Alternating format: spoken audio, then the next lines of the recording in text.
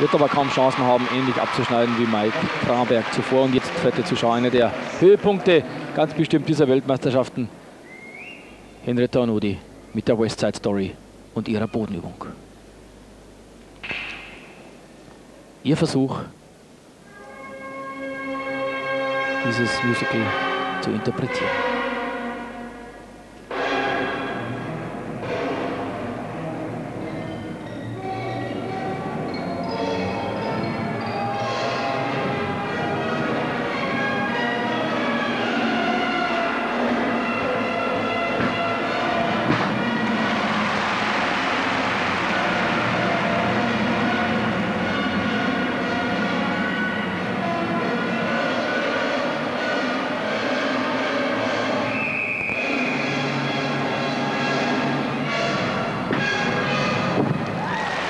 Dreifachschraube hat punktgenau gepasst.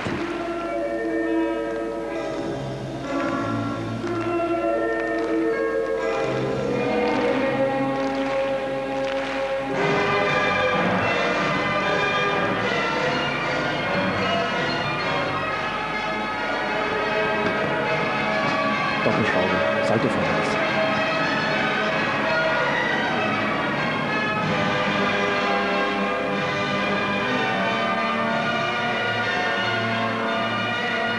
Achten Sie auf den Schluss, verehrte Zuschauer.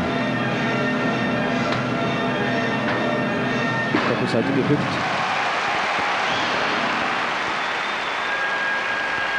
So, da sank sie hin. Henrietta Nodi beweist Mut mit der Auswahl dieser Übung. Sie will sicher nicht so weit hinaus, um hier den Konflikt zwischen Schwarz und Weiß, zwischen Weißen und Puerto Ricanern, wie das im Musical der Fall ist, darzustellen, auf die Bühne des Turnsports zu bringen. Aber immerhin hat sie den Versuch unternommen, mit der Musik mitzugehen, in die Musik